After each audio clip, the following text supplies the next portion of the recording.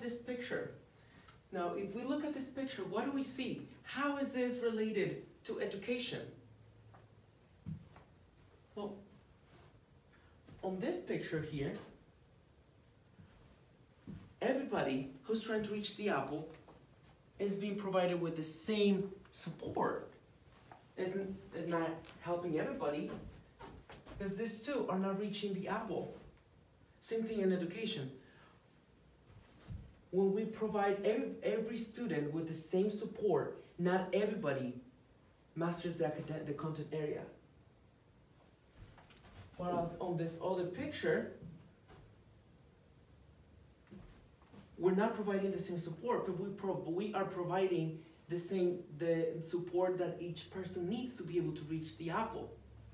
In education, every not every student receives the same support, but students receive the support that they need in order to master the content area and reach the learning goals.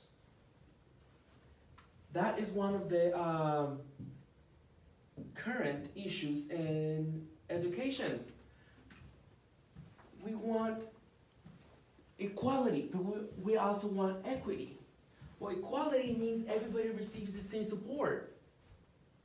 Well, whereas equity means the students receive the support that they need in order to reach the uh, learning objectives. Okay, now let's begin talking about what tracking is. Has anybody heard of tracking? Has an idea what tracking is? No? Okay, well tracking refers to the way in which students are kind of sorted. They're, they're, they're being told, you belong on this class, you belong on this class, you belong on this, this class. That's how we place students in different classrooms, in different classes, and the tracks that's gonna take them, that are gonna take them. Uh, we do that nowadays by the, their academic ability. So we give them a test. How they score on test is how we tell them you belong in this class because of your test, your test score. Now, when this started back in the 90s, it was mainly used based on the student's socio socioeconomic status.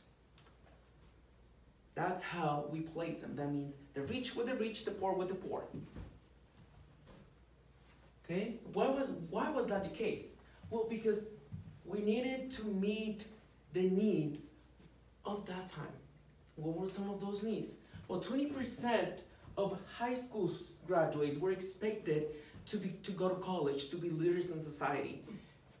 They were expected to become doctors, to become law, uh, lawyers, CEOs of a company, because that's what their families were. Their families were rich. So they were expected to follow the same steps. So when those students went to school, they were told, you belong on this track. You belong on this one, you belong on this one. Whereas only a 20% of students, high, graduate students from high school, were expected to become skilled workers. That means uh, salesmen, managers, accountants, uh, things where their family, where their family did. And finally, the rest of society, the 60% remaining, were expected to become work factory workers, farm workers. So the poor were put in a track, the middle class in a different track, and the rich in a different track. They were all following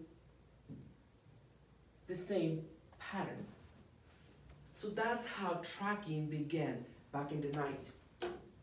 It was until um, the Board of Education, uh, Brown versus the Board of Education, that uh, the Supreme Court decided that uh, students should not be uh, tracked or segregated based on their race, but only by their academic ability by their academic ability, like um, their scores on a test, um, the scores on the test had their reading level because this begins since the primary grades. If the students are reading at a higher level, then they're all placed together.